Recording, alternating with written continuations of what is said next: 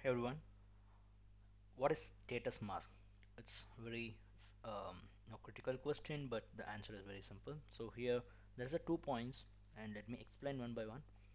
Before that, first understand uh, what is DTC status. For understanding DTC status, you should know what is DTC. Of course, you are learning from the beginning of our uh, diagnostics, so probably you may know. Still, I'll give you a quick recap. All right. So what is DTC? It's a diagnostic trouble code. So diagnostic trouble code means in in a car, in a car ECU, right? In a car, it, uh, there is a component. Say for example, airbag is a one component. If there is some issue with fault with the airbag, then the fault stores into the ECU, airbag control unit. So the airbag control unit, the fault has been stored in the form of DTC. All right. So DTC is a diagnostic trouble code. Say for example, if there is some um, mm, some inflation issue with the uh, airbag, then it stores the DTC as AA, BB, CC. It's a three bytes. Usually the DTC will be three bytes. All right. So um, the status of the DTC. So these three bytes added with that one byte that will be the status of the DTC. Say for example, it's uh, 8F. It is a status. So what this status tells, this status tells about the status of the DTC.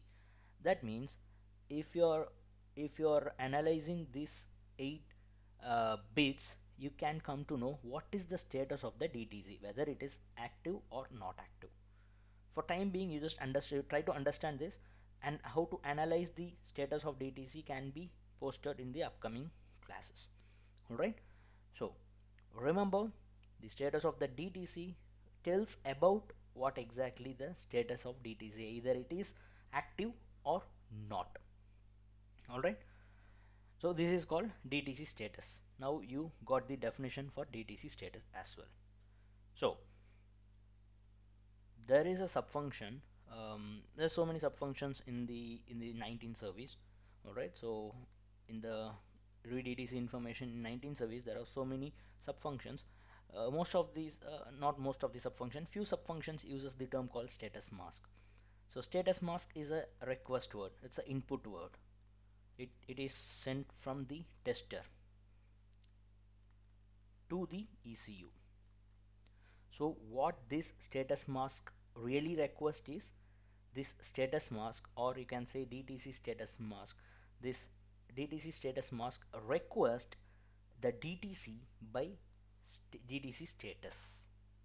That's it. It is a 8 bit information. So this 8 bits um, this is what the 8 bit alright? So this see the DTC status mask has 8 bits that show the status of different DTCs so this is a kind of a variable okay? So DTC status mask. If you request with this then you will get the DTC status DTC status so this DTC status is a 8 by 8 bits. That means the status this DTC status mask holds this 8 bits. That means it is showing a tester that this is what the status of the DTC and remember this DTC status will be unique for every DTC if you have 100 DTCs then you'll have 100 DTC status. Of course there may be the chance of the DTC status or same for every DTC or different for every DTC 99% will be different for different DTCs alright so it, not, it may not be the same but even there is a possibilities so there is no harm in that. Alright so I hope you understand what exactly the DTC status is. Again at the end of this video I'll give one more layman term so that you may understand still better. In a request message tester can use this byte to ask the information about again same whatever I explained the same this is all about the DTC status mask. Alright now give let me give you some uh, layman term to understand exactly what is the uh, DTC status mask is. Alright um, say for example a teacher is asking a student like what's what is his um, grade? Or what is his grade? Is he whether it is he is pass or fail. All right so he is asking his grade. Consider this is a DTC status mask. He is either pass or fail. This is a status of the DTC alright?